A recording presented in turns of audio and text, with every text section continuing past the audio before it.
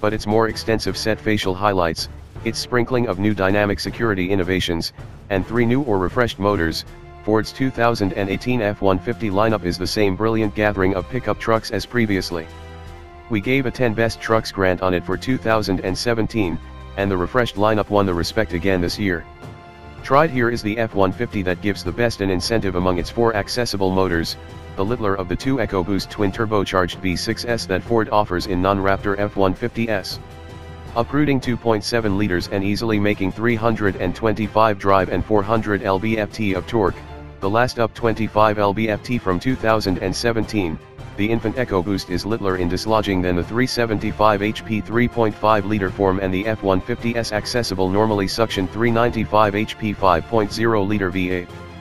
However it feels bounty solid, and it's just a $995 upcharge on the XL and XLT the least two trims, where it replaces the base motor, a normally suction 290 HP 3.3 liter V6 and it is standard on the Lariat.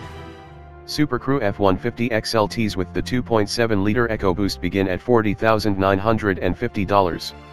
To that was included the $295 Focus Reassure and Front Basin Situates, the $945 Chrome Appearance Bundle, Chrome 18-inch wheels, avoids, grille, and other outside bits, and the $1,150 301A bundle, an 8-way control driver's seat, a shading driver data show in the check bunch, a 7-speaker sound framework, a back window defroster, warmed side mirrors, control flexible pedals, a calf skin wrap directing wheel, and a class 4 trailer hitch and wiring.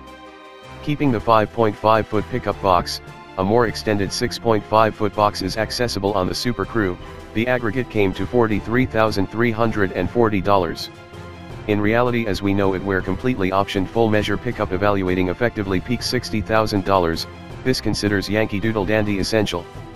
The completely present-day 2.7-liter EcoBoost now dashes to a similar 10-speed program transmission presented in the 2017 3.5-liter EcoBoost prepared F-150 and F-150 Raptor. Just the passage-level 3.3-liter V6 still uses a 6-speed programmed. While a reassure shifter is accessible, outfitting the 10-speed with a decent antiquated segment shifter is oddly fulfilling. Additionally remunerating is the transmission's sport mode, which keeps the firmly twisted twin-turbo V6 revving right where it influences substantial power and great to support.